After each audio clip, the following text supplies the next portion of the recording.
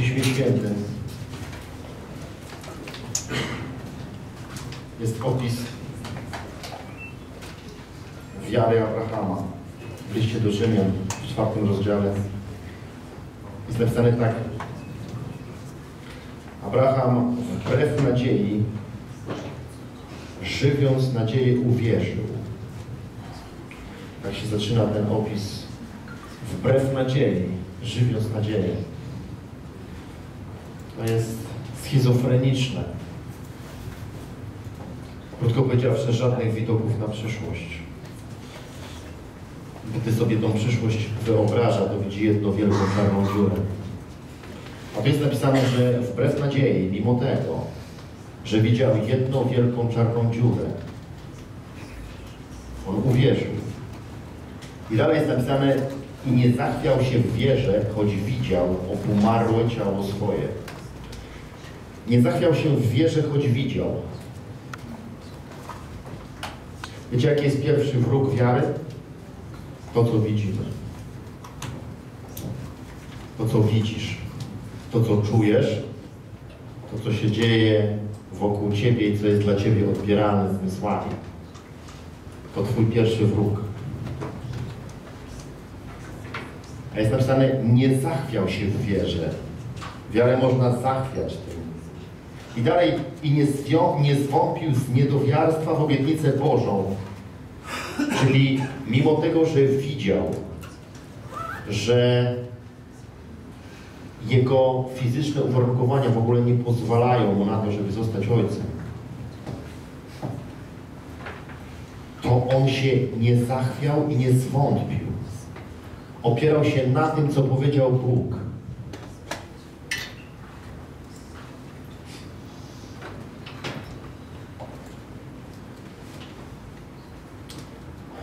Jest taki kabaret w Polsce. Moim zdaniem to są prorocy obecnego czasu. Takich odbieram. I ten człowiek mówi taką rzecz. Żartuje ze swoją żoną i mówi do niej, co ty bardziej wierzysz swoim oczom niż moim słowom? Ale jakie to jest prawdziwe? Abraham bardziej wierzył słowom Boga niż swoim własnym oczom. To jest prorocze. No co ty?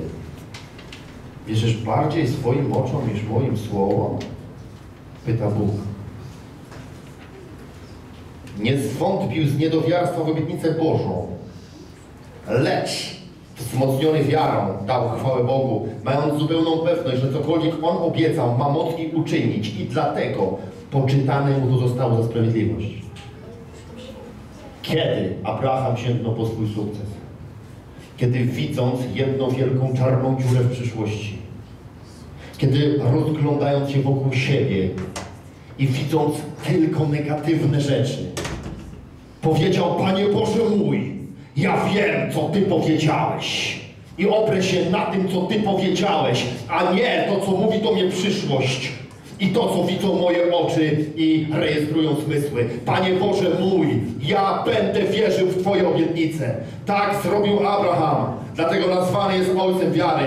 Dlatego Słowo Boże mówi, że jest Tobie dana wiara Abrahama. Masz wiarę Abrahama. Nieważne to, co widzą Twoje oczy, ważne to, co mówi Boże Słowo. Jeżeli opierasz się na obietnicy Bożej, musisz zwyciężyć.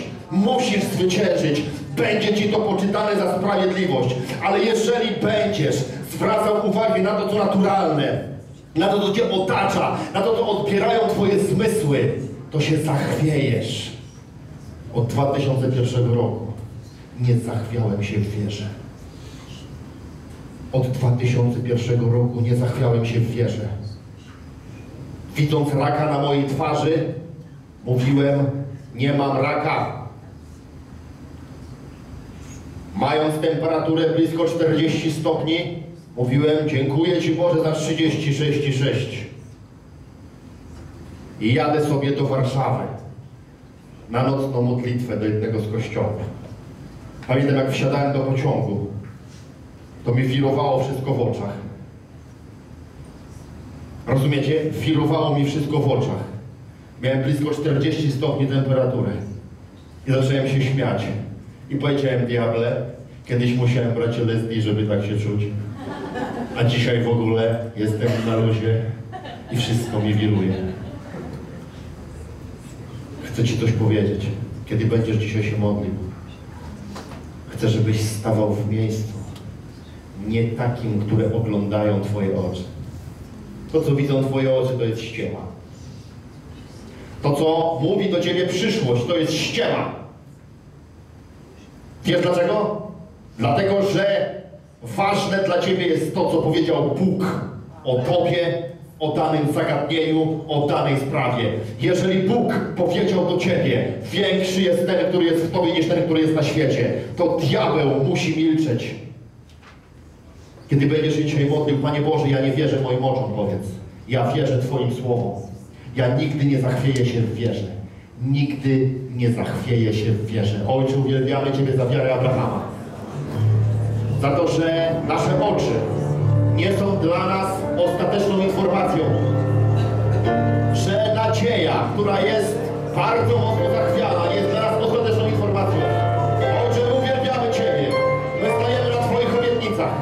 Mississippi Party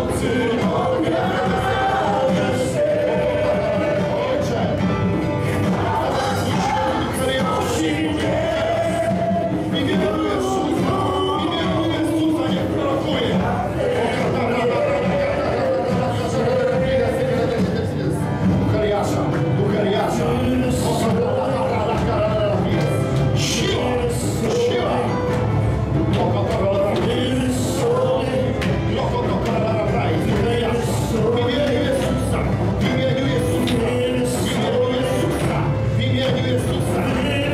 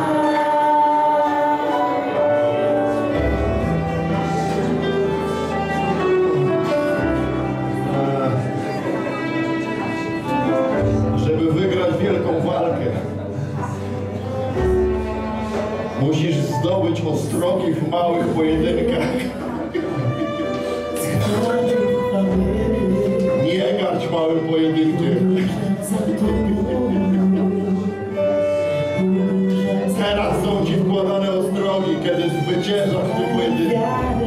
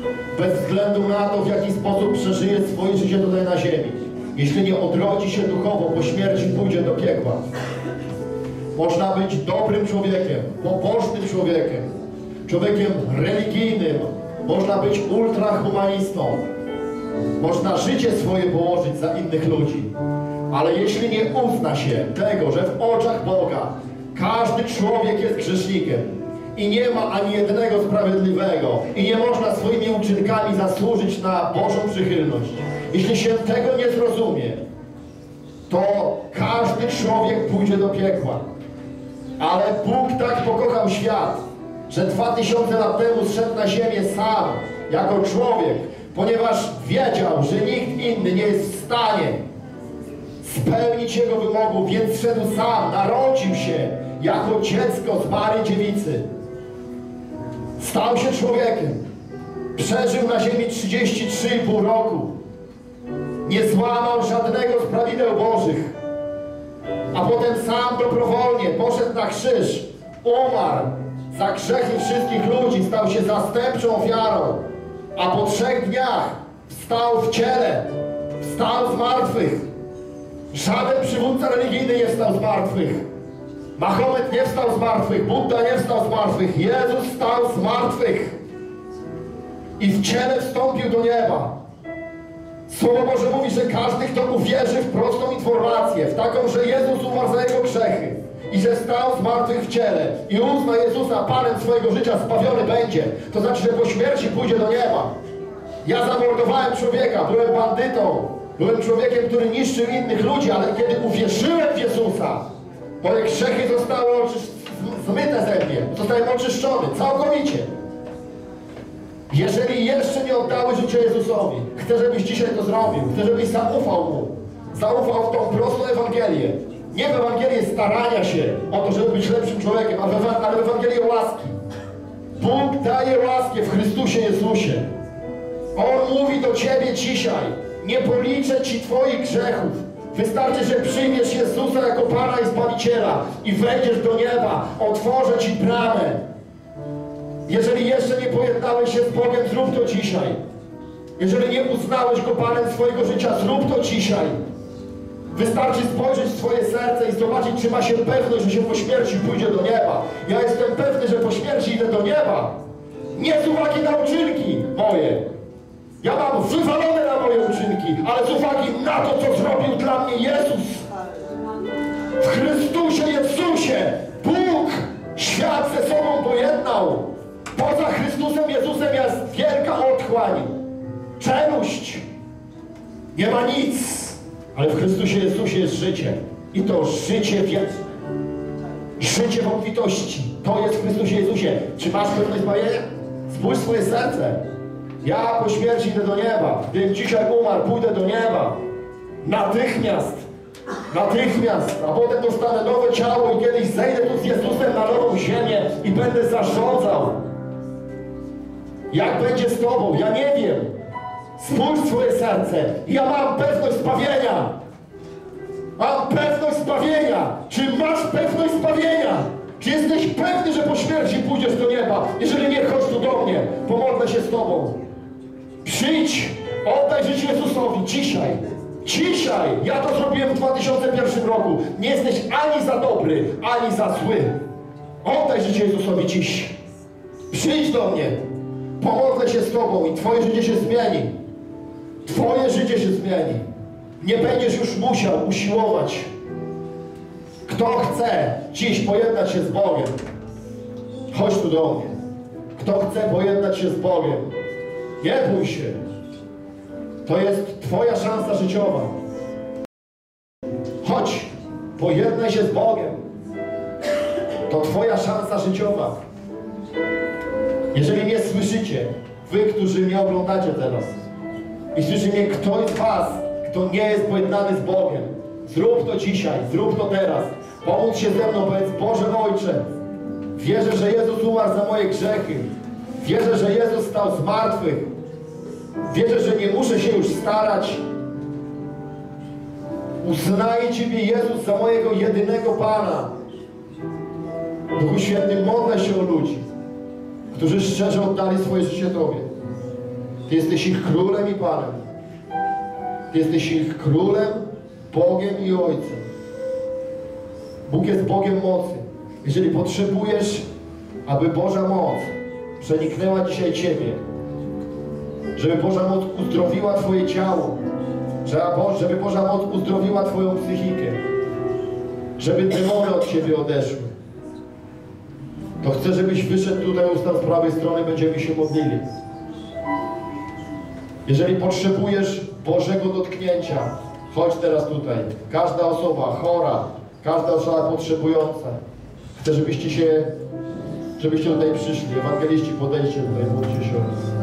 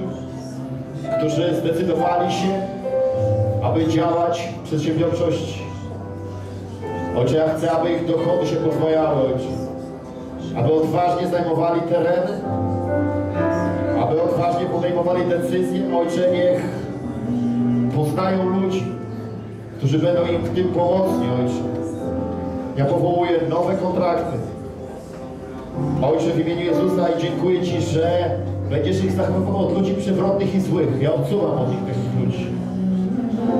Uwielbiam Cię, Ojcze. Halleluja. Jeżeli stoisz w takim miejscu i wahasz się jeszcze, ale gdzieś w Tobie już wiesz, że finansowo musisz zacząć rzeczy umacniać i brać na siebie odpowiedzialność, to podejmij teraz decyzję. Powiedz, Panie Boże, ja jestem odpowiedzialny za moje finanse. Ja ogłaszam pomnożenie tych finansów. Ja ogłaszam niezależność w tych finansach. W imieniu Jezusa. Halleluja. Pamiętaj, siedzisz z Bogiem na tronie. Z Bogiem na tronie. Dla naturalnego człowieka jest niemożliwe, dla Ciebie jest możliwe. Możesz więcej. Możesz więcej. Tylko nie mów, że się nie nadajesz. Nie mów, że nie pasujesz gdzieś.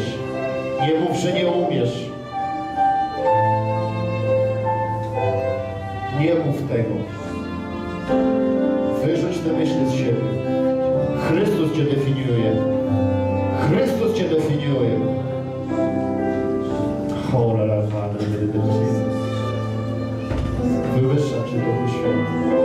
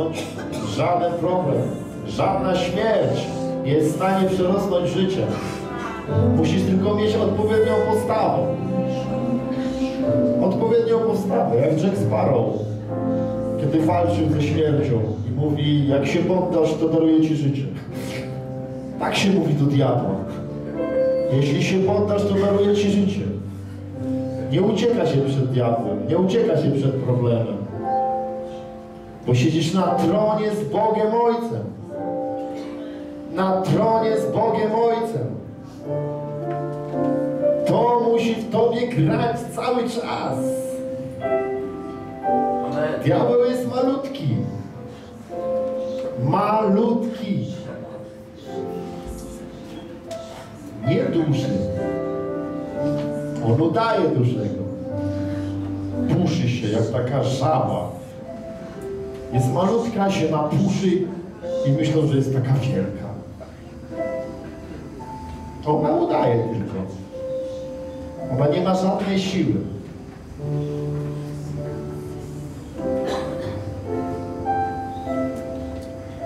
słowo od Boga. To ma słowo od wielkiego Boga. Może masz coś od wielkiego Boga o malutkim diable. Jakąś prawdę. Może masz jakieś proroctwo.